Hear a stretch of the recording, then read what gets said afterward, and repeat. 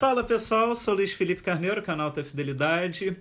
Hoje é dia 5 de outubro de 2018, mas ainda não, ainda não estou podendo gravar vídeo notícia, mas semana que vem a gente grava.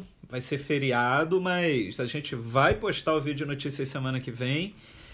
É, nas outras três sextas vocês viram vídeos que a gente está postando na Alta Fidelidade TV. A gente resolveu, eu, diretor, postar isso aqui no YouTube para galera ver, de repente falar, não, gostei, não gostei, vou assinar, não vou assinar. É, quem quiser assinar tá aqui embaixo na descrição, o link, tudo. No final desse vídeo vou colocar lá dois vídeos que a gente postou da Alta Fidelidade TV.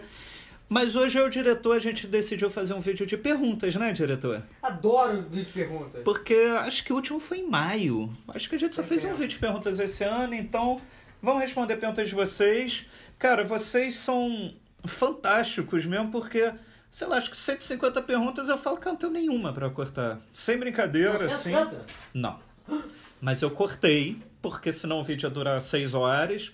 E eu também, muita pergunta bacana, mas que eu já respondi. Tipo, Luiz, qual é o Dream Team de bandas? O baixo, o baterista? Acho que eu já respondi isso duas vezes, sabe?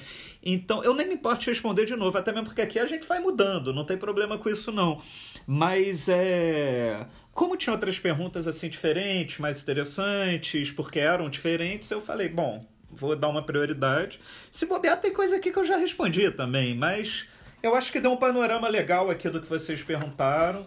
Mas às vezes a pessoa reclama comigo, pô, Luiz, você nunca responde minhas perguntas, mas, cara, é, isso daí é porque realmente na hora de cortar, por causa do tamanho, você acaba tendo que tirar alguma coisa, mas as perguntas muito bacanas mesmo. Que legal, Luiz, legal. A primeira pergunta aqui da dupla do casal, Pedro Marques Costa. Não, não, não é a dupla, não. É porque eles fizeram a mesma pergunta, então eu botei o nome dos dois. Então, vai ver são amigos, namorados juntos, não sei, não conheço, não tem preconceito. Luiz Luiz, Rock Mas fala o nome deles, cara. Eu falei Pedro Marques Costa e Rafael Ramos. Ah. Louis Louis, rock inglês ou americano? Cara, isso é difícil. Eu falei que a gente muda de opinião, não tem problema com isso, né? A gente é sempre uma metamorfose ambulante. Eu acho que num vídeo com Biofá a gente teve esse papo e eu falei que era mais americano ele falou que é mais inglês. Então, cara, eu gosto muito do rock americano. Se você pensar, porra, Bruce Springsteen, é, Eagles, o Southern Rock, sabe?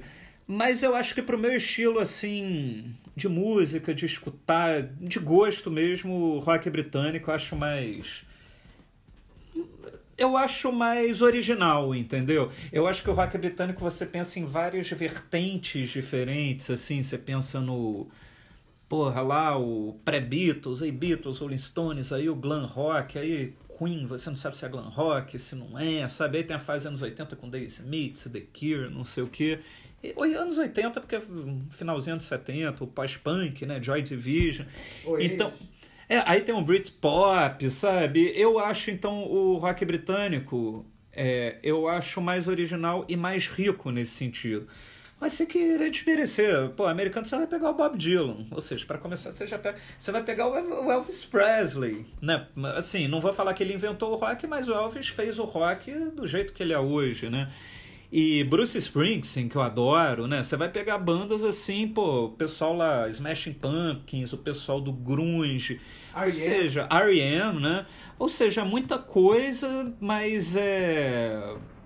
Cara, é aquilo, eu fico com os dois, mas se colocar uma faca aqui, eu falo, tá, cara, você falou, a partir de hoje, na sua vida, você só pode escutar rock inglês ou rock americano. Ah, eu só vou escutar rock americano. É?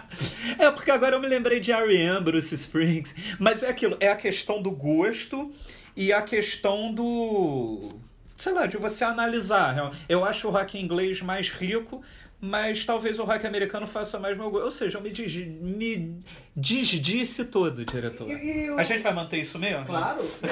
rock brasileiro chega a competir? Você vê, não é rock, mas música pop americana. Motown, Steve Wonder, sabe? Rock brasileiro tem chance nessa competição, pra você pessoalmente? Ah, cara, o rock brasileiro, de certa forma. você, pessoal, pessoal. Ah, pode ser, pode ser, tranquilo. Mas se você comparar de um modo geral, pô, É, muita influência, Legião Urbana lá do The Smiths, não sei o que. É, muita... é lógico, teve muita coisa original, né? Nação Zumbi, Mutantes, tudo, mas, cara, é isso, Mas né? gosto pessoal, qual você prefere? O americano. Nem brasileiro ganha, então. Não, americano. Olé! Pergunta Pô, você vai agora- berrar 25 vezes, cara? É, é porque ele escreveu em, em caps lock. Ah, tá. O Thiago Romanelli, dono do restaurante italiano maravilhoso aqui na Barra. Pasta Romanelli! Exatamente. Ele perguntou por que certas bandas inglesas tiveram tantas dificuldades para conquistar os Estados Unidos e acabaram por se transformando em fenômenos exclusivamente britânicos, sem tração para o mercado americano. Seria a resistência, excessi- resistência excessiva do americano a produtos externos? Você vê, o- os nossos os nossos espectadores escrevem tão bem que você tem dificuldade até de ler, né? Ele começou a falar, falar difícil aqui. Cara, eu até botei essa pergunta colada na outra porque tem a ver, né? Eu acho que a mentalidade americana é mais fechadona mesmo. xenofóbica, né? sabe? Então é. Os Beatles chegaram lá porque, cara, se não chegasse, né, não tem como, né? Mas é por isso que tem. Acho que eu falei isso num vídeo de notícias um mês atrás, assim, que tava falando de Eagles, aquele Eagles e Michael Jackson. Aí muita gente perguntou no. Pô, por que o Eagles não faz sucesso no Brasil? Não sei o quê. É porque é uma coisa tão americana que também eles não sentem nem muita necessidade de ir além. Até mesmo porque os Estados Unidos é um continente, né? Eles podem ficar a vida toda lá tocando em todas as cidades. Assim, nem, o Queen chegou direito. né? O Queen não chegou à direita, e depois também, quando eles lançaram aquele videoclipe do I Want to Break Free, o pessoal torceu o nariz, porque americano, as, as zelosas famílias americanas ficaram apavoradas, né? Com o pessoal lá fantasiado de mulher. Então, é, eu acho que essa dificuldade mesmo do americano falar, "Ah, não, cara, isso daqui é tão. Isso realmente não tem como a gente negar a existência. O americano é aquilo, eles vivem sendo do mundo. Então, o rock que eles fazem é o rock mundial, é tudo lá, né? Então, para ver uma coisa lá da Inglaterra, sabe? País que colonizou eles, um, um país pequeno, mínimo, comparado aos Estados Unidos, né? Eu acho que de repente deve doer um pouco para eles, sabe? Ah, pô, a gente tem aqui, tudo, vai chegar um cara cantando inglês do outro lado do Atlântico para ser um acesso aqui. Não, pô. Aqui não, violão, como É diz o Caetano. Isso aí, bem. Falou bem. Olha só, o segundo Thiago agora, Thiago Barros. Pô, cheio de Thiago. Ih, vai ter, cara. Tem outro. Ele perguntou, grande Louie Louie, diz pra gente, na sua opinião, qual a banda ou cantor ou cantora do Brasil, caso não houvesse a barreira da língua, poderia ter feito um mega sucesso mundial. Cara, é, eu tô imaginando bandas. É, Se todo mundo no planeta falasse a mesma falasse a língua. mesma língua, exatamente, as bandas cantando em inglês. Eu acho que a Legião Urbana seria mega. Mas não é The Smith? Não é cópia do Smith? Cara, não, eu não acho cópia. Eu, eu acho que é muito inspirado no The Smiths o primeiro. O primeiro dia. O pessoal até gosta de falar. Ah, Legião Urbana copia The Smiths. Cara, pra mim. Aí pega o primeiro disco como exemplo. Cara, pra mim o primeiro disco deles é muito mais YouTube do que The Smiths, na minha opinião. É, então, eu acho que as letras do Renato são muito universais. Então, eu acho que. É, eu falo isso pro Biofá, e não é porque eu sou fã, ou de repente é porque eu sou muito fã mesmo. Eu falo, se a Legião Urbana surgisse na mesma época do The Smiths na Inglaterra, eu acho que a Legião Urbana seria maior do que The Smiths, sabe? Eu acho assim, pela questão das letras, sabe? Pela figura do Renato Russo. Bem que tem o Morris aí também, mas eu acho. E Mutantes, eu acho que seria outra. Tanto que Mutantes hoje faz mais sucesso lá fora do que aqui. Só que é aquele sucesso meio. Pô, eles gravam umas músicas em inglês aqui, umas em português. É aquele sucesso mais cult. Sabe o ato cult? Assim, não é uma banda que vai tocar na O2 Arena e lotar. Sabe? De repente pode até ter um palco lá no Glastonbury, o pessoal, os fãs vão achar legal, tudo, mas não é uma, né? E, cara, eu não sei, eu pensei muito em Paralamas, porque Paralamas é uma banda muito inventiva, assim, de. Mas Paralamas usa um ritmo mais brasileiro que de repente eu não sei se lá fora o pessoal ia amar ou de repente ia torcer o nariz, entendeu? E outra banda que eu pensei agora, o Barão Vermelho, porque o Barão Vermelho ele faz aquele rock muito universal, tipo Rolling Stones, eu acho que poderia ter sido uma mega banda. E Cazuza? Inclusive eu falo, a banda, o primeiro disco do Barão Vermelho, pra mim dá de mil a zero no primeiro dos Rolling Stones, por exemplo. Cara, é, ainda tem o Cazuza, né? Que era um, uma figura, pô, grande compositor, poeta, tudo. Então eu pensei, né? É lógico que tem outras, o pessoal vai brincar aqui fora. O pessoal fala, e Chico Science? Cara, Chico Science tem a parada muito brasileira. Assim como, né? assim como Raimundos, que põe o forró com hardcore, com punk. Então, eu não sei se. se eu acho que das duas, uma, ou ia ser algo absolutamente tremendo, ou então ia ser apenas uma banda mais cult lá. E? Mamonas Assassinas? Ah, Mamonas. Pô, Mamonas. Com todo respeito, bons músicos, ri bastante, mas era uma banda mais. Sabe? Não, mas febre, né? Na época É. no Brasil todo. Mas é aquilo, as letras também. É, é que nem Nelson Rodrigues, né? É, imagina o, o cara que tem que traduzir Nelson Rodrigues para o inglês. O cara vai dar um tiro na cabeça antes de acabar o livro. E, então eu não imagino os Mamonas assim. Eu acho que o humor era uma coisa mais brasileira, entendeu? Não sei se lá fora. Faz sentido, Luiz, faz sentido. Por isso que você tá aí desse lado, eu tô desse. Olha só. pergunta aqui do Thiago Coelho. Terceiro, Thiago. Ti- é, terceiro e último. É o último. É, pra você. E tem outro aqui no final, William. Pra você, qual é a mídia definitiva? Vinil, CD, MP3 ou streamings? Cara, eu tinha pensado. é, é, o streaming realmente vai ficar para sempre, tá na nuvem. Mas sei lá, eu quando penso realmente na mídia, eu tô pensando no objeto físico, sabe? E no objeto físico, cara, queira ou não, é o vinil. Vinil, às vezes, a gente vai comprar numa loja aí um disco de 40 anos atrás e você limpar direitinho, ele estiver bem conservado, você vai escutar aquilo. O CD eu não sei, por exemplo, eu sexta já tem um mês eu falei sobre o show da Adriana Calcanhoto, que eu assisti aqui no Teatro Casa Grande, e me deu uma vontade louca de ver um DVD dela chamado Público, que eu adoro. Eu me lembro que na época eu tive a oportunidade de conversar com a Suzana de Moraes, que era a companheira do, da Adriana, e ela que dirigiu esse show. E, porra, eu fiquei louco com esse DVD. Aí eu vi o show e falei, vou rever. Eu peguei o DVD não tocava. Aí eu peguei a mídia, a mídia estava completamente detonada. E, cara, é detonado claramente que você vê que é mídia vagabunda, entendeu? É, e não é aquele detonado porque às vezes está meio. Às vezes pega do box uma coisa meio. que você tem que passar sabão e sai. Mas esse não, é uma coisa interna, que você vê tem uns pontos assim. Eu falo, cara. Então isso também pode tá acabar. né? internet, internet caiu, não tem streaming, né? Pois é, mas se você tem, não tiver também um toca-disco, você não escuta no LP. Então não escute música, Thiago. Olha só. Luiz! Gritão do diretor, entre aspas. O Tudo que é antigo é melhor, né? Você pega um aparelho de som antigo, vai funcionar melhor do que um atual. Então o vinil é aquilo. Você pode até falar, ih, cara, dá um chá aqui que eu não tô acostumado, não sei o quê, mas no fundo o negócio vai estar lá, sabe? Porque antigamente as coisas eram feitas pra durar, né, Luiz? Exatamente. Olha só, Douglas perguntou: quando você fará um vídeo apresentando a sua coleção, mostrando itens raros, coisas que você mais ouve, primeiro item da coleção, etc. Já tá fazendo, Luiz. Já tô fazendo, Douglas na Alta Fidelidade TV. Não sei se você assina, né? E o link tá aqui embaixo na descrição. Uma vez por semana lá, às quintas, eu mostro um item da minha coleção. Um eu até postei aqui durante esse mês no YouTube, que é uma caixa bem rara do Fred Mercury, que eu gosto muito, foi uma das primeiras caixas da minha vida. E a ideia é você pegar. Porque não é o unboxing, porque unboxing você tá tirando do plástico. Essas caixas são antigas, mas a gente tenta mostrar assim com cuidado o que tem, o que não tem, né? Então já tá rolando lá.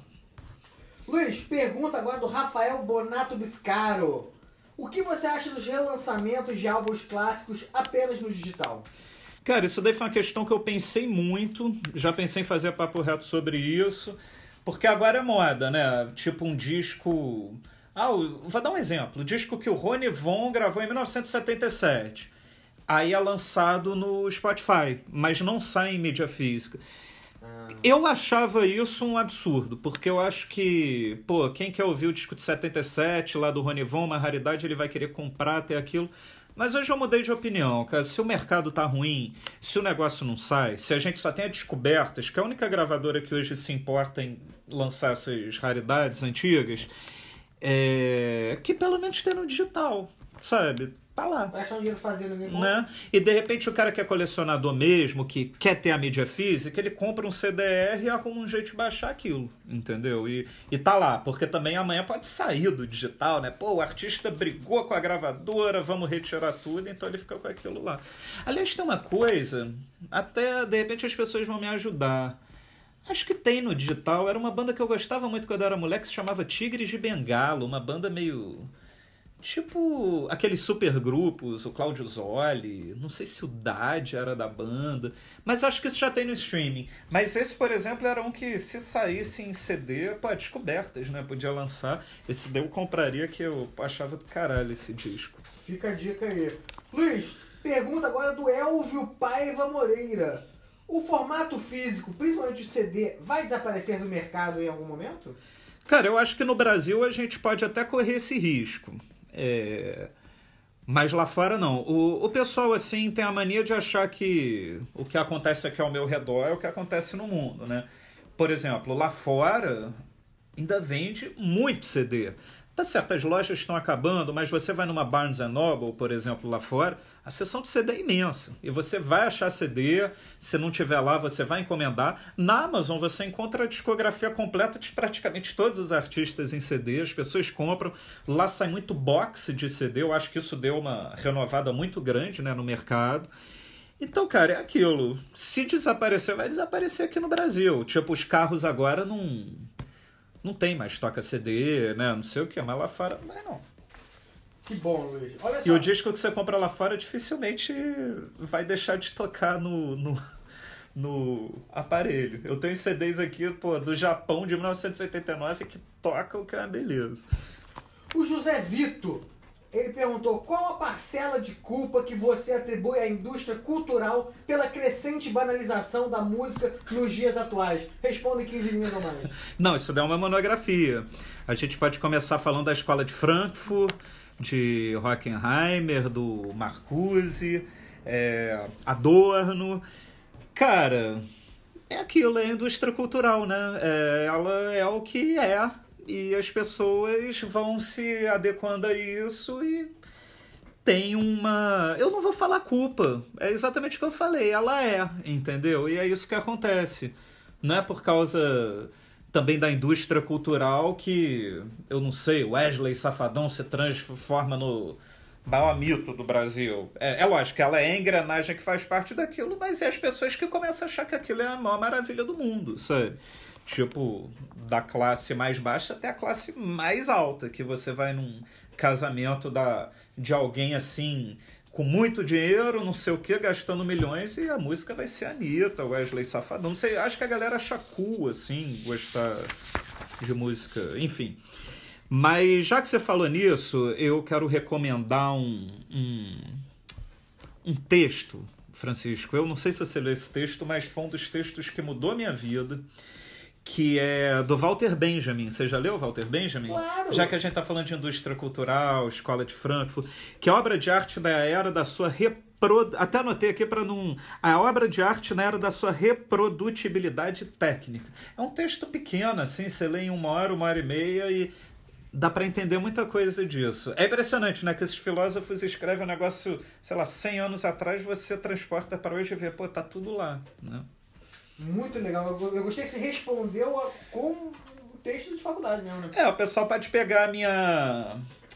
É, o cara, ah, vou fazer essa monografia, já dá para fazer a partir dessa resposta. Olha só, o negócio é o seguinte, você pensar agora em Paulo César Souza. Grande PC, tô com saudade do PC. É o PC que a gente conheceu? É. Grande PC. Ele já lançou. Você deve estar tá fazendo propaganda lá pro candidato dele, não vou falar quem é. Ih, não. rapaz. Olha só, pergunta impossível. A música sempre evolui. Ah, não, é impossível, então não vou responder, não. Próxima pergunta, Mário Marinato. Uh. Mário Marinato é um grande, grande músico também. Se toda a música pré-2000 sumisse, quem seriam os ídolos que você teria? Olha, é, a gente estava falando, né? Essa coisa, banda nova, não sei o quê. Tem dois caras que acho geniais mesmo, sabe? É, Acho que. É que eles surgiram nessa época, para mim são dois gênios desse milênio, mas se tivesse sido nos anos 70, de repente seria aqueles caras que estariam lá no topo, que é o James Murphy, do LCD Sound System, uhum. e o Alex Turner, do Arctic Monkeys. Eu vou te falar, Arctic Monkeys é uma banda que eu gosto, acho mil vezes melhor que The Strokes, por exemplo. Mas assim, eu tava achava muita coisa repetitiva, mas esse último disco, Tranquility Base Hotel em Cassino, o cara mostrou que realmente. E também o trabalho anterior do Last Shadow Puppets, o cara mostra que realmente ele tá. Ele tá muito além daquela musiquinha repetitiva do Arctic Monkeys. Sem querer desprezar a musiquinha repetitiva do Arctic Monkeys, que fez muito sucesso e que eu gosto de escutar até hoje. Mas, cara, pô, se eu tiver que escutar 30 discos do Arctic Monkeys com aquele mesmo estilo de música, não dá, né? Ô, Luiz. A gente não vai responder o PC, não? Depois, talvez. pena dele, cara. Manda pergunta impossível, complicado. Tem uma outra pergunta do Mário Marinato. O Ed Sheeran não vai entrar? Mentira, minha pergunta. Olha só, o Isaac Moraes quer saber. Há uma grande discussão hoje sobre o que é ou não é música de qualidade, mais complexa do que a gente imagina. O que você considera música de qualidade enquanto pesquisador e jornalista cultural? Vai do gosto pessoal? Perguntou o Isaac Moraes. Cara, o gosto pessoal sempre tem, né? É impossível você meio que desprender uma coisa da outra, mas eu acho que você tem que ser sensato a ponto de falar, cara, eu adoro esse cara, esse cara é muito bom, mas isso aqui ele não acertou. Eu acho que quem tem uma visão crítica sobre um trabalho, não acha que tudo que seu ídolo faz maravilhoso, é, ele vai sacar isso. Ele, ah, porra, eu sou muito fã é, do Smashing Pumpkins. Aí o cara vai lá, vai escutar o Melancholy, o Siamese Dream, não sei o quê. Mas, pô, o cara vai chegar naquele Zeitgeist, por exemplo, vai falar: cara, isso aqui não. Isso aqui não deu, sabe? O Billy Corgan aqui errou, sabe? É lógico, tem um cara que fala, porra, ninguém gosta de e eu adoro. Isso pode ser também. Por exemplo, tem muita gente que diz, cara, Lou Reed e Metallica erraram naquele Lulu, né? O disco duplo. E eu adoro aquele disco, sabe? Então, tem a questão do gosto, mas também o gosto em cima do que o negócio é, entendeu? Não é o gosto só em cima, ah, eu gosto desse artista, então tudo que ele faz é bom. Tipo aquele cara que gosta do artista, vai ao show, o show foi meio fraca, não, foi muito bom. Não, porra, você já assistiu 10 shows desse artista, você sabe que esse não foi tão bom quanto o outro, não é tão difícil. Mas né? se o Luan Santana lançar uma super música, você vai conseguir olhar e falar, pô, essa música é boa pra caralho. Ou tem, o teu preconceito, não tem o pessoal, mas o preconceito. Cara, não é nem questão de preconceito, a questão é que realmente o que, que vai me fazer escutar a música do Luan Santana? Não, a gente, o Biofat manda por WhatsApp. Pô, você viu a nova música da Safadão? Pode ser, não, boa. se eu gostar outro dia num vídeo de notícia. Você gostou do CD do, do Harry Styles, do, do Pois é, teve um mês atrás eu fiz um vídeo notícia que eu falei de Sandy Júnior, que eu admirava, não sei o que, gosto muito do acústico deles, fui ao show e teve muita gente, pá, não sei o que, entendeu? É aquilo, eu acho, voltando pro Sandy Júnior, eu acho que o que eles fazem é música. Você pode até não gostar, mas, pô, tá lá, é bem executado, é bem composto, eles sempre com músicos bons. Você vê, Roupa Nova, que sofre muito preconceito, é brega, não sei o quê eu, eu acho a música deles muito boa. Tem discos lá que realmente eu não gosto, nem escuto, mas tem coisas muito boas, sabe? Então, é, a questão para mim é essa: é você saber ver, pô, isso aqui é uma coisa que não é muito meu gosto, mas isso é música. Os caras colocaram uma ideia aqui, colocaram realmente uma alma deles aqui dentro, entendeu? Porque para mim o que não é isso não é nem música ruim, é como diz o Biofá, não música. Outro dia eu tava com o Biofá no McDonald's e começou uma música. Né, né, né, né, né, é uma música estrangeira. Aí o Belfá falou, cara, escuta isso, isso é não música. Aí eu falei, cara, tem toda a razão, porque é uma coisa assim tão. A voz nem parecia de uma pessoa, parecia um robô cantando em cima de uma base eletrônica. Ah, agora você pode fazer a pergunta do PC que combina com isso. Vamos lá, PC César. PC César, Paulo César Souza. Luiz, pergunta impossível. A música sempre evolui com a entrada de novos instrumentos. A guitarra de Elvis, a guitarra dos Beatles, os teclados, sintetizadores, scratch, samplers, os computadores. Qual o caminho que a música anda? Qual o instrumento que você aposta que vai ser descoberto, entre aspas, pelos músicos e uma nova onda vai surgir? Cara, PC, para mim a resposta você já deu. É computador. É o cara meio que. De repente, daqui a pouco ele não vai precisar. Nem. Se bem que já deve existir programas assim, o cara não precisa, às vezes, nem saber música. Música, ele tem vários trechos. Ah, esse teclado aqui eu gostei, cola. Ah, essa voz aqui meio robótica, cola. Pronto, foi uma música. Tipo, cara, você não sabe de onde saiu aquilo. É a música do McDonald's, é isso. É mais ou menos isso, é não música. É. Mas você acha que vai ter alguma coisa positiva, uma onda? É, tem, tem Não, mas a verdade é que aquilo lá, a Gibson faliu, vai acabar a guitarra. Não vai, sabe? Mas a verdade é que o interesse diminuiu. Né? Luiz, o Luiz Carlos Ribeiro perguntou. Esse é meu parente por parte de primeiro nome. É uma grande família da família Luiz. Se você pudesse viajar no tempo para presenciar um show histórico, qual seria? Eu Tá sei meu. Conta. O show do Biofá no Carnegie Hall no futuro. Ele me falou que é para ir passado ou futuro. Ah, mas, pô. Fui pro futuro. Você foi pro futuro. O show do Biofá. Tá aí, essa pergunta eu acho que eu já respondi há alguns anos atrás. Me lembro da minha resposta e não vou mudar. Eu iria pro Rock in Rio 1 para assistir a primeira noite, que teve. Foi que você viu no apartamento de longe? Foi, né? Que teve Ney Mato Grosso, é, que abriu, teve o Queen, teve o Iron Maiden. E eu me lembro da resposta que eu dei, vou mais ou menos repetir aqui. Não é nem. É lógico, eu, pô, o Fred Mercury é um cara que eu adoraria ver ao vivo, tudo.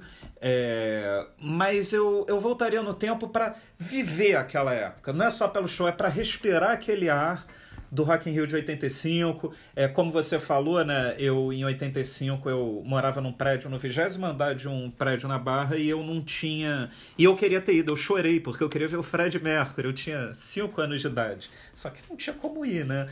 Aí eu me lembro que minha mãe falou, eu vou te levar pro show. Aí ela me pegou na mão, a gente foi pra varanda, e dava para ver aquele foco de luz. Ela falou, ó, o Queen tá lá, entendeu? Então eu voltaria, não é nem só pelo show, mas é pra época. E o que, que você faria antes do show? Antes de ir pro show, você ia no, no Barra Shopping? Qual- Onde você queria dar uma volta? Ah, cara, eu acho que eu iria a todos os lugares que na época eu frequentava. Eu ia querer descer lá no condomínio, Barra Mares, que eu morava, pra, tipo, de repente reencontrar os porteiros, é, de repente algum amigo. O Marcelo Manes, meu amigo que morreu e que morava no Barra Mares, de repente ele, eu ia chamar ele pra ir ao Aí show você comigo. encontrou o pequeno Luiz, você ia falar alguma coisa pra ele? Ah, eu ia falar, você tá indo pelo caminho certo. É. Não, não fala que o Greta é cópia do. Não, eu falaria uma coisa pra ele. Cara, não faz direito, não. É faz mesmo? direito, não. É. Ah, Falaria, pô, faz jornalismo direto ou então faz química. Sabe? Direito não faz. Mas a gente não ia se conhecer, Luiz. Aí não ia ter canal. É, não ia ter nada.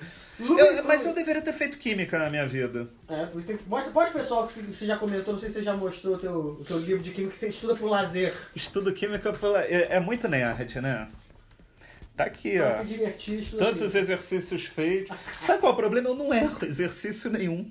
Mas deixa parte, eu, posso fazer um canal de química, sabe? O marido da minha irmã é químico. ver as contas aqui todas. Inclusive, tá aqui. Ah, pô, eu achei a calculadora que eu usava na época, cara. E tá. Você vê, é aquilo que a gente fala que o antigo é melhor? Tá aqui, Cássio, eu usava isso. Eu comprei essa calculadora em 1993, tá? Aqui, tá funcionando. Eu nem sei como troca a bateria disso. Não é energia solar, não. Não é, não. E tá funcionando até hoje, é a mesma. Tá até com a marquinha aqui que eu ficava contando os zeros com a minha. Se o pessoal pedir, você faria um canal de química pra galera?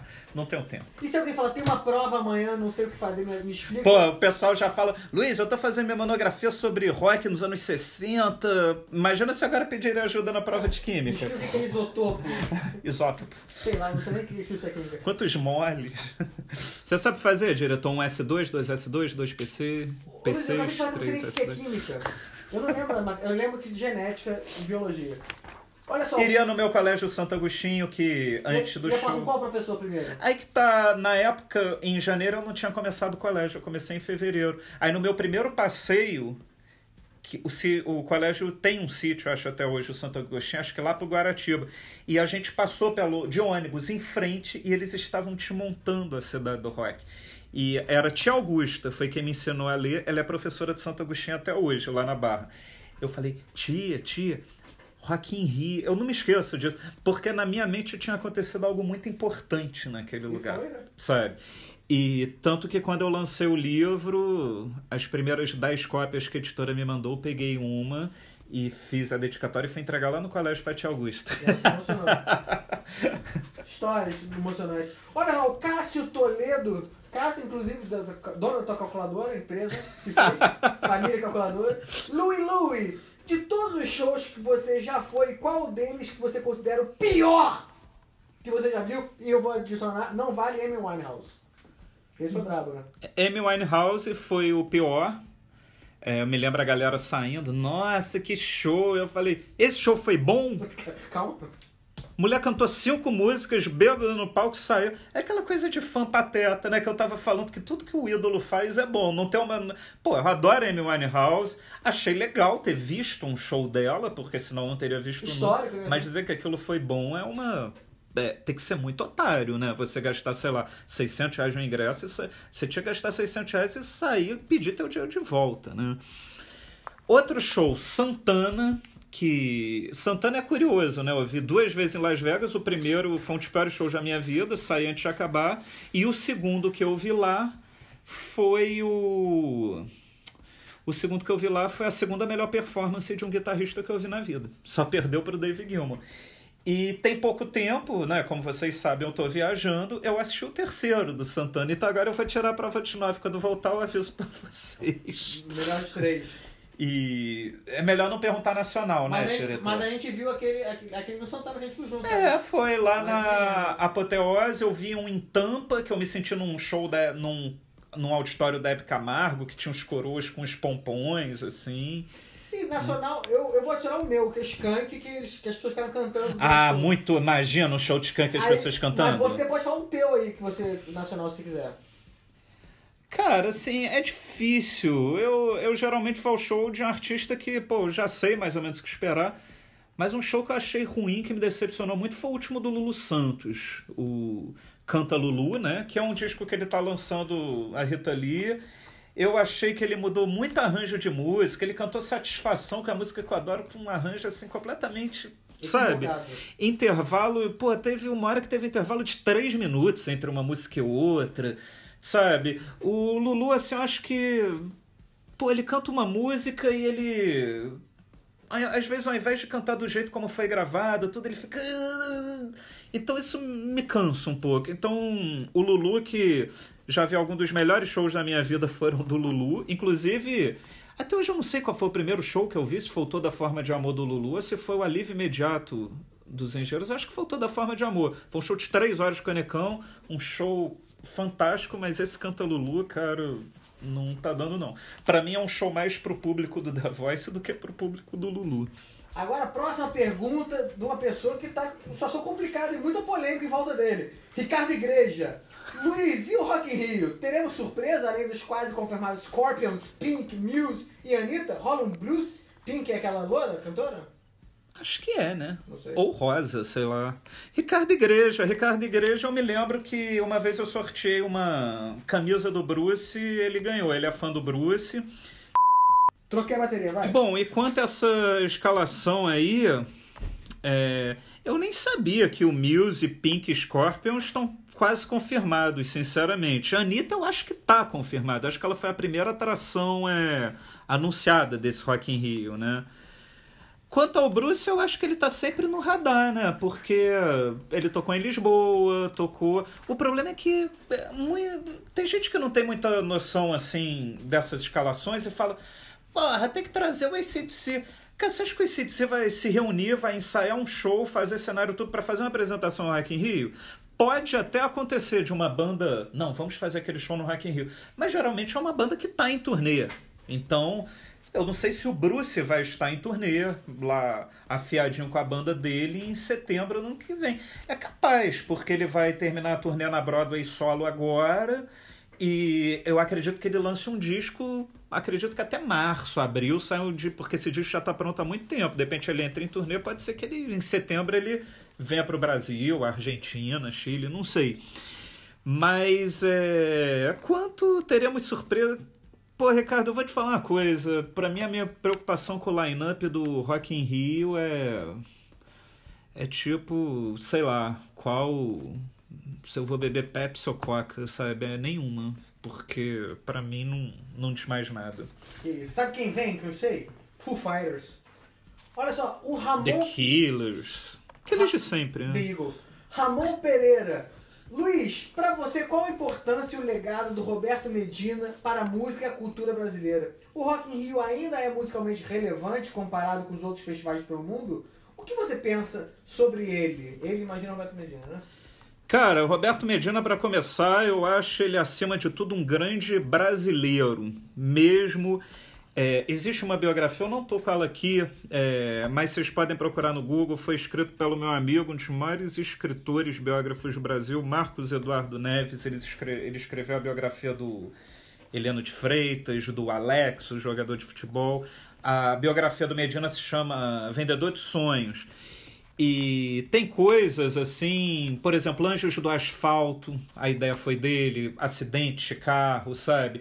É, Árvore de Natal na Lagoa, foi ideia dele, não sei o quê. Ele é um cara, acima de tudo, apaixonado pelo Rio de Janeiro. É, a...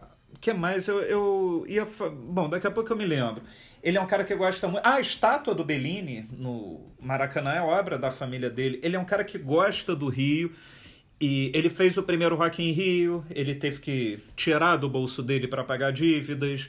É, o 91, o de 91 não deu lucro, o de 2001 deu um pouquinho. Aí, quando ele foi para Portugal, ele ele começou a ganhar dinheiro, o que é absolutamente merecido pelo trabalho que você faz, goste ou não do festival, né? Um cara que. Porque é aquilo, você pode não gostar do line-up, mas, porra, a organização do Rock in Rio é algo, sabe, que você fica assim. É tudo muito bem organizado. Acho que ele aprendeu muito a fazer um negócio na Europa, foi para Las Vegas também, que a verdade é isso, o pessoal lá de fora exige mais, né? É aquilo que eu tava falando do show. O brasileiro, o show é ruim, o cara tá feliz de pagar mil reais para ver a cantora cantar cinco músicas. Lá fora o pessoal vai vaiar e vai pedir o dinheiro de volta. Então acho que o Medina aprendeu muito. E eu penso nisso, isso sobre ele. Quando eu escrevi o livro do Rock in Rio, ele me recebeu assim. Não tinha nem muita ideia de livro, era um trabalho de faculdade. Ele achou muito legal, sabe? Não censurou uma vírgula daquele livro. E olha que tem muita crítica ao festival, a coisas que aconteceram, tudo. Então acho ele um cara que merece muito. Eu me lembro quando eu entrevistei o Paulo Marinho que é um empresário que foi sócio dele no Rock in Rio 2, ele falou isso, pô, é, tava começando de 2011, né? Foi quando o Rock in Rio voltou para o Rio. Ele falou, pô, agora que ele está colhendo os frutos, ele merece muito. Eu penso assim. Quanto à relevância do festival, sinceramente, eu acho que mais nenhum festival no mundo é relevante. Eu acho que a Glastonbury, cara, o Glastonbury é o Rock in Rio lá da Inglaterra, entendeu? É, ele já coloca uma, uma um Jay-Z, pô, não tô querendo te merecer o Jay-Z, mas é aquilo. Eles estão colocando o que vende, o que dá público.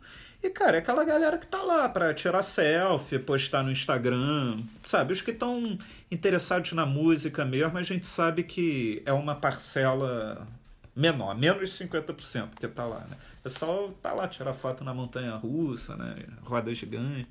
É por isso que realmente eu não tenho mais interesse em ir, assim, sabe? Pra mim, ah, se eu olhar na TV os poucos shows que me interessam, já valeu. Legal. Qual vai, quando vai ser o próximo? Ano que vem, daqui a um ano, né? Porque geralmente é setembro. Olha só, pergunta do Claudinei Borba. Eu nem sei se quando esse vídeo for ao ar ele já vai ter anunciado alguma outra atração, porque geralmente quando falta um ano tá ele anuncia. Em setembro, começo de setembro. É, né? é. Claudinei Borba, influenciado pelo canal, estou ouvindo mais MPB. Tropicalismo, Nara Leão, Tom Jobim, Chico Buarque. Será que um desses monstros da MPB um dia irão merecer uma discografia do seu canal? Isso é boa pergunta. Cara, a gente já fez algum. Eu não fiz com Biofá, eu já fiz discografia com Biofá de artista brasileiro, engenheiro, e sabe? É, é, Chico Buarque é o que poderia fazer. É, eu sinto que o pessoal tem uma certa resistência quando eu falo de MPB no canal. Vai ver o vídeo que eu fiz sobre a Nara Leão, tem mil visualizações. Vai ver o vídeo que eu fiz sobre o Greta Van Fleet, tem 30 vezes mais. Ela, eu não guio o canal pelo número de visualização, senão o canal não seria do jeito que é. Eu estaria falando coisas. Ai, os 10 maiores fofocas, não sei o quê, porque aí o pessoal vai clicar. Mas não é isso que eu quero, eu não quero esse público. Então, o que eu acho legal da discografia é que a gente tem a chance no canal, o canal vai crescendo, vai sendo mais conhecido, da gente fazer a discografia com alguns artistas. Que é muito mais legal. Né, diretor? Você sozinho. Então a gente já publicou várias no canal, Marcos Vale, Fernanda Abreu, vamos publicar outras. Mas é aquilo, nem sempre o artista está disponível, nem sempre o artista responde teu e-mail. É... Aliás, eu diria que a maioria não responde, né? Seja o artista ou a assessoria de imprensa. Então, e também é difícil porque, pô, você para fazer um vídeo desse, você toma pelo menos duas horas do artista. Uma hora e meia gravando e a meia hora que ele tá lá, não sei o quê. Ou seja, é um show. É como se o cara estivesse fazendo um show lá, falando, lembrando aquilo. Às vezes tá, ficou de mau humor com alguma pergunta, não sei o quê. Então, é. Mas eu acho muito legal. Eu acho que isso. Eu acho que no dia que esse canal não existir mais, o, o maior a maior herança que a gente deixou são essas entrevistas, porque vai ficar para sempre. O cara pode escrever um livro sobre o Marcos Vale daqui a 60 anos, ele vai poder ver a entrevista e vai falar: caramba, aqui tem informações que não tem lugar nenhum, né? Muito legal. E quanto. E, se, e tem os artistas que já morreram, que é impossível, tudo, mas Pode pensar fazer com Biofá a discografia de Chico Buarque, né? Aí vai ver os caras, Chico Buarque comunista, vou dar dislike. O problema é que tem uns retardados assim. Que isso, gente? Mas muito legal, Luiz, que o Claudinei Boba, influenciado pelo canal Ouvindo Mais no MPB, bacana. Pois é, né? O Henrico Vasquez Boxar perguntou: Luiz, se você pudesse escolher um artista e uma outra grande personalidade, ambos brasileiros, vivos ou não, para entrevistar para o canal, quais seriam? Eu acho que quando ele quis dizer artista e outra personalidade, eu acho que é um músico e um outro que não seja do ramo, de repente, É, né? Ramos.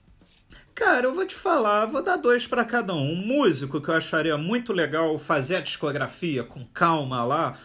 Um seria o Chico Buarque, que eu acho que é impossível. O Chico realmente. Você vê, ele lançou Caravanas e não falou com absolutamente Mas vamos fazer ninguém. esse, vamos fazer ainda. Realmente é a onda dele ficar lá reservada. E eu acho que nesse período aí tão de extremismos, agressividade, não sei o que, de repente ele faz bem.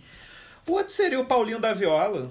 Quem sabe? Mas Paulinho da Viola também é reservado, Vai, né? Rolar os dois, hein? Paulinho da Viola é reservado, mas eu adoro a discografia dele, eu adoro a história do samba, saber a história dele com a velha guarda da Portela, não sei o quê. E outras personalidades, o primeiro que eu penso para mim é o maior ator do Brasil, que é o Dan Stulbach. É, uma vez quase rolou, a gente quase rolou, mas aí acabou não rolando. Agora ele vai estrear uma nova novela, eu acho que vai atrasar mais um pouco, mas eu tenho certeza que vai rolar.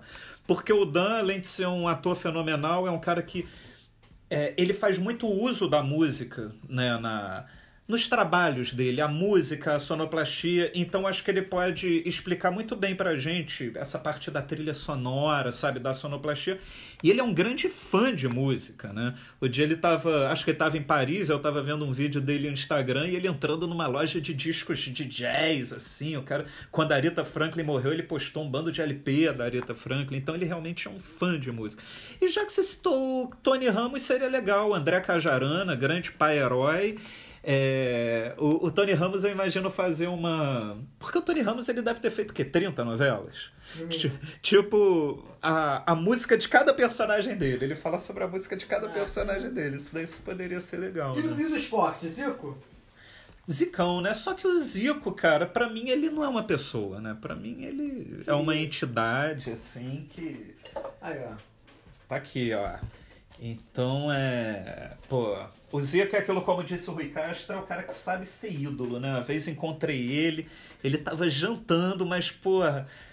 Não, cara, é agora ou nunca. Eu me levantei, ele "Hum, pode tirar uma foto comigo. Isso tem uns quatro Você anos. interrompeu o jantar?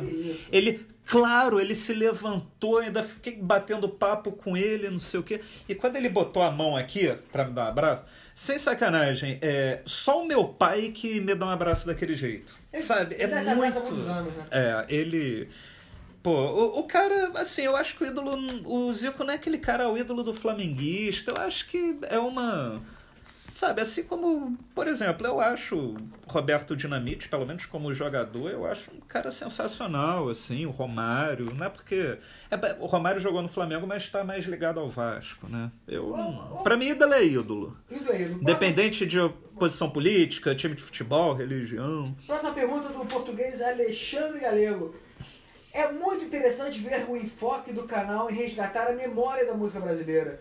Mas não sei se já foi dito algo sobre. O que você acha do movimento que foi denominado Vanguarda Paulista, que revelou grandes nomes como Itamar Assunção?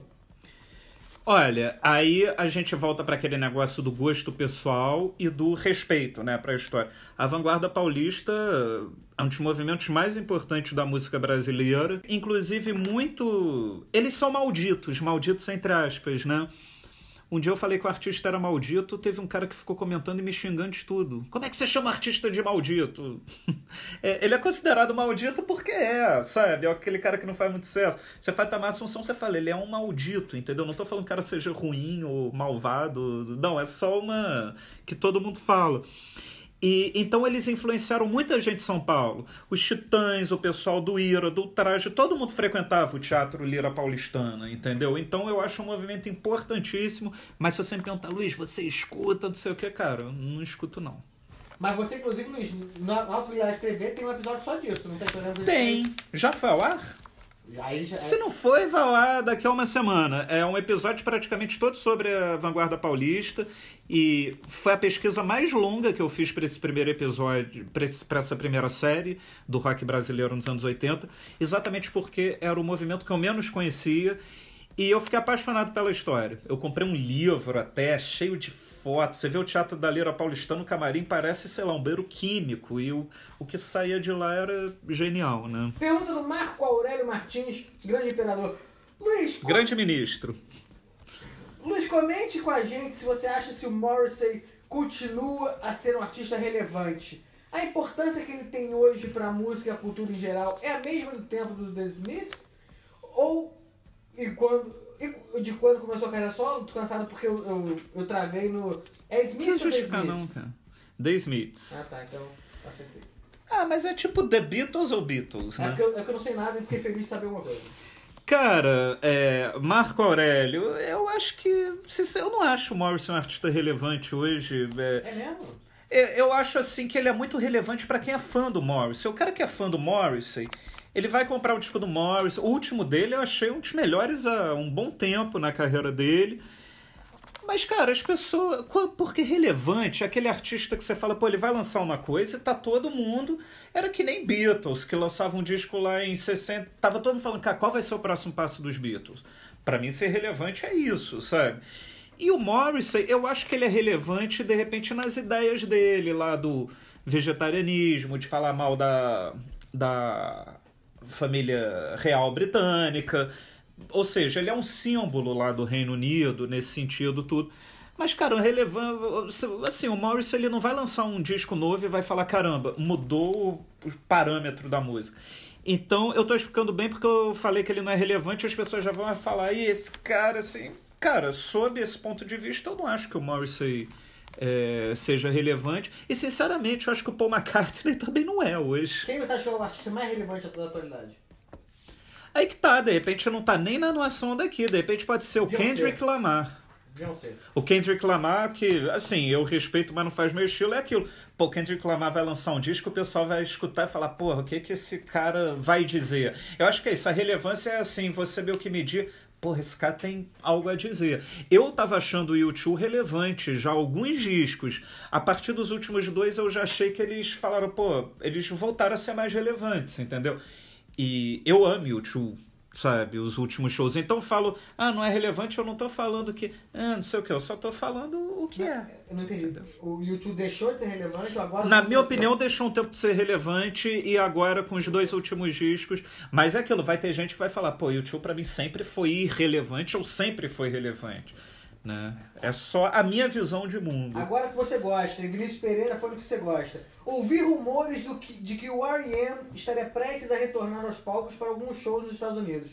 Michael Stipe teria revelado a um amigo que é produtor de música na Irlanda. Caso seja verdade, válido, relevante, um novo álbum de estúdio seria bem-vindo? Você iria? Vou responder essa última, sim, ele iria. Iria. É, olha as badaladas. Em homenagem ao R.E.M., a igreja. São 12 horas de vídeo já. Cara, assim, eu acho que o R.E.M., quando acabou... O R.E.M. é outro ótimo exemplo. Eles lançaram aquele disco Around the Sun, que eu até gosto, mas eu acho um disco fraco. E eles voltaram a ser relevantes nos dois últimos discos deles. O Accelerate e o Around the Sun. Não, e o Collapse Into Now. E tanto que eu fiquei surpreso, mas você vê, é uma banda tão inteligente que eles falam, eles pensaram em acabar no Around the Sun, mas falaram, não, a gente tem que terminar por cima. Eles gravaram dois puta discos, o último nem fizeram turnê e acabaram. Então, eu acho que se eles lançassem um disco, corria o risco de ainda ser relevante. Eu acho. Relevante assim como eu digo os últimos do YouTube, que eu achei assim mais relevante. Não acho que vai mudar nada na história do rock, nem na história do R.E.M., mas acho que seria relevante. E, mas sinceramente, eu amo a mas eu prefiro que nem volte. Eu acho que foi bonito o jeito que acabou, entendeu? Sem Pô, nem turnê de despedida teve. O Arian sempre foi uma banda muito cool, né? Então eles terminaram também do jeito que ele. Ah, não. Ah, gravamos um disco aqui e acabou. E, cara, para mim, descansa em paz, né? Eles vão lançar em breve uma caixa com nove discos inéditos, quer dizer, gravações ao vivo, né? Que nunca saíram oficialmente. Ou seja, tem muita coisa aí pra gente aproveitar, sabe? Até mesmo porque. Ele tá sem barba. Aí, ó, Até mesmo porque aquilo que a gente falou, vai ser um disco novo do R.E.M., Cara, na boa, o pessoal vai ao show do Ariana só querendo escutar. Se for no Rock in Rio, o pessoal só vai conhecer Losing My Religion e Shiny Happy People. Talvez Man on the Moon, entendeu? Então, sabe, pra mim tá bonito o jeito que foi. Olha só. Nossa, minha garganta já tá seca, claro, diretor. Claro, vídeo de 6 horas. Luiz. Vou fazer que nem alguns artistas, né? Assim, tá acabando? Tá acabando. agora eu entendo, agora eu entendo. Imagina eu. Agora... Tá acabando? Ou então o dado, pô, vamos aí, vamos aí. Qual o próximo? O cara já tá de saco cheio. Todos nós, todos nós. Agora um dos donos de uma grande loja de roupas, o Eric Sales. O que você acha do material de bandas do progressivo como Genesis, Yes e Rush, que fizeram álbuns, na minha opinião, ótimos, com um direcionamento mais pop. É uma crítica que você tem ao Coldplay também, né? Que faz uma coisa mais pop. Não, mas é completamente contrário. Eu vou te falar, do fundo do coração, as pessoas vão matar. Para mim, os discos pop do Genesis, do, do Yes não, mas do Genesis e do Rush, são melhores do que os progressivos. Não melhores, me atraem mais. Entendeu? Questão de gosto.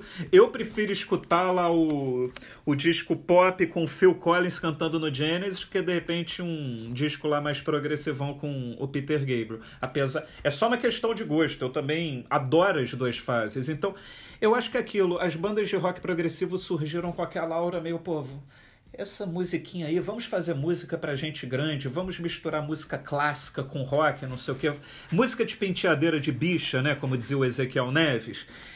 Só que com o tempo eles viram que não, cara, vamos fazer música pop de qualidade. E como eles já são excelentes músicos, porque quem toca rock progressivo é excelente músico, né, de um modo geral. Então para eles fica fácil fazer uma boa música pop. Eu só quero abrir um parêntese aqui, o Rush para mim não é rock progressivo sabe? Mas quando eu falo, às vezes eu prefiro escutar um disco do Rush lá dos anos 80, não sei o que, que tem uma pegada mais pop do que lá um dos anos 70 que tem a parada mais, mais realmente progressiva, entendeu? Bom, acho que o pessoal que acompanha o canal entendeu o que eu quis dizer. Entendeu? Augusto Prado, Louis, cite um acústico e um unplugged da MTV que não existe, mas que você gostaria de ver. Cara, eu vou citar um que eu me lembro que, pô, eu tive essa ideia mais ou menos em 99, na época que tava bombando muito acústico. E cheguei a pensar em falar com Milton Nascimento, mas nunca falei. Para mim a ideia seria um acústico do Milton Nascimento, é, inspirado acho que foi 2001, 2000, porque foi logo depois que o Jorge Ben lançou o dele. Seria um disco duplo. O primeiro seria ele recriando o Clube da Esquina, com os músicos originais, ele e o Loborges, ia chamar lá o pessoal do Som Imaginário tudo. E no segundo ele chamaria a banda atual dele para fazer um set de sucessos, entendeu? Aí você fala, mas o Milton já é acústico. É, mas também não é, entendeu? É que nem o Gilberto Gil. Ele é acústico, mas quando ele gravou acústico, ele mudou muita coisa. Eu acho que o Milton. Hoje eu não sei se ele teria essa vontade, essa paciência, mas naquela época eu acho que seria um acústico histórico se ele tivesse feito. Uma pena não ter, não ter lançado. É. O Diogo Peixoto. Aí, Luiz! E ele pediu um acústico e um unplugged. Então vai no unplugged. Qual é o unplugged, diretor? Eminem. Ah, cara, eu queria ver um plug do Iron Maiden. Maneiro. Como é que faz ser um plug do Iron Maiden? Se vira, irmão, se vira. Queria ver o Bruce Dixon com aquela voz dele no Se vira, se vira nos 30. Olha só, o Diogo Peixoto. Aí, Luiz, Vem cá, parceiro. Que artista brasileiro você gostaria de ver cinebiografado? Eu, particularmente, gostaria de ver uma do Tony Tornado. Cara, eu vou voltar rapidinho só na pergunta do Eric Salles, que eu falei da música pop. Porque eu acho que eu já falei isso em alguns vídeos no canal. Para mim, a música pop bem tocada é a melhor música do mundo. Você fala, pô, rock progressivo, é, o, o rock lá sinfônico, Dream Theater, os caras tocam pra cacete. Eu respeito tudo isso, mas para mim a boa música mesmo é aquela música pop do Fleetwood Mac, do Paul McCartney, do Elton John, Silly Love Songs, né, como diz o Paul McCartney, do Queen, né, o Queen tem um lado pop dos anos 80 que é sensacional. É, e principalmente dos anos 70, pô, você vê Somebody to Love, acima de tudo é uma bela música pop, né? Então só voltando. Com relação de Ogo Peixoto, cara, eu vi recentemente, acho que eu já comentei num vídeo sexto musical da Isaura Garcia, sobre a Isaura Garcia, Isaurinha, com a Rosa Maria Murtinho. E eu achei sensacional, e um dos motivos de eu ter achado sensacional é que eu não conhecia quase nada da vida da Isaura Garcia.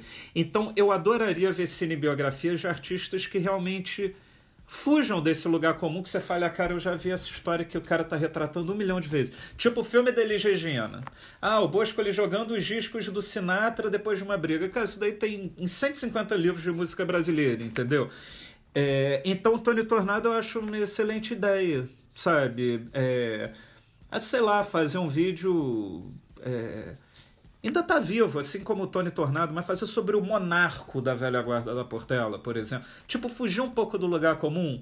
Até mesmo porque, sei lá, se você faz. O Tony Tornado ele poderia fazer o papel dele mesmo, né?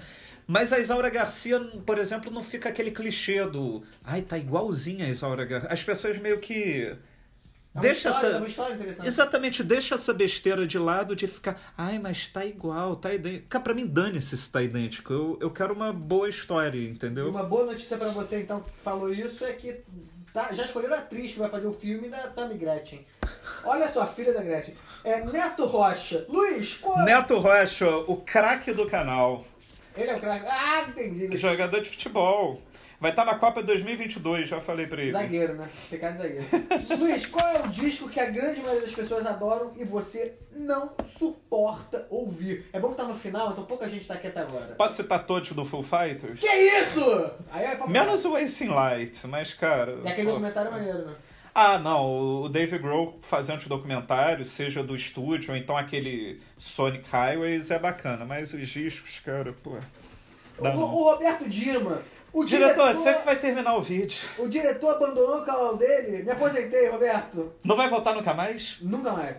Olha. Olha só, o William Queiroz, é o nosso último Thiago, né? Ele perguntou quando veremos o diretor num vídeo? Em breve, muito breve. Não vai ser hoje, não? Não, não hoje. Quando? Você tem que dar uma data. Dia 14 de agosto de 2021. Deixa eu anotar. 14 de agosto de 2021. Exato. Tomara que é num sábado, né? Fazer uma entrevista comigo, discografia. Imagina, nesse dia a gente marca a entrevista com Chico Buarque. Já era. Fechou, então. Bom, acabou quase uma hora, né? Será que o pessoal gostou? Parece mais, né? Pareceu É. umas 6, 6, 6, 7 horas. Foi pra compensar aí esse tempo. Semana que vem a gente volta com vídeo de notícias, tudo direitinho. É, e é isso, né? Segunda-feira, lançamento. Qual lançamento de amanhã? Pô, aí, rapaz, aí você me pega.